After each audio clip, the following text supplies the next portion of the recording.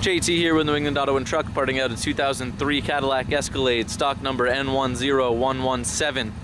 Has 93,000 miles on it. Engine's running pretty good as you can hear. Uh, I'll give you a quick rundown of the vehicle. Hood no good, left front fender no good. Uh, bumper cover up front no good, rebar underneath should be in good condition. Moving up the left side. Left front door, about a half hour lip damage uh, on the front lip by the fender. As you can see, mirror no good up there.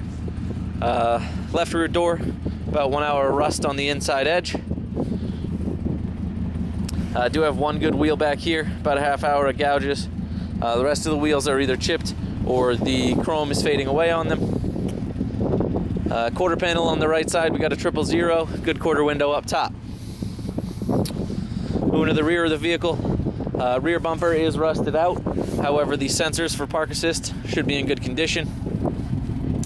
Uh, lid gate back here, about a half hour of rust on the bottom side, just bubbling up a little bit. Moving up the right side, triple zero quarter panel on the back, about a half hour of rust on the right rear door, triple zero right front door, and a triple zero right front fender. As I said, engine's running decent. Get you inside, rev it for you, give you a look around.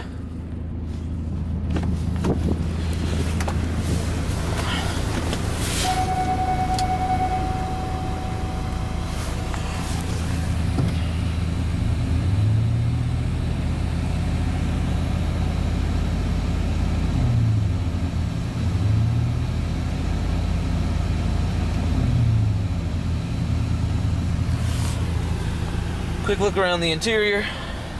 Front seats are in decent condition. Do have a sunroof up top. Rear seats also in pretty good condition back there.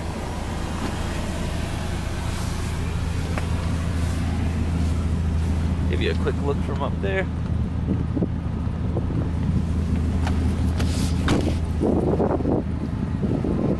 Vehicle's in some decent condition.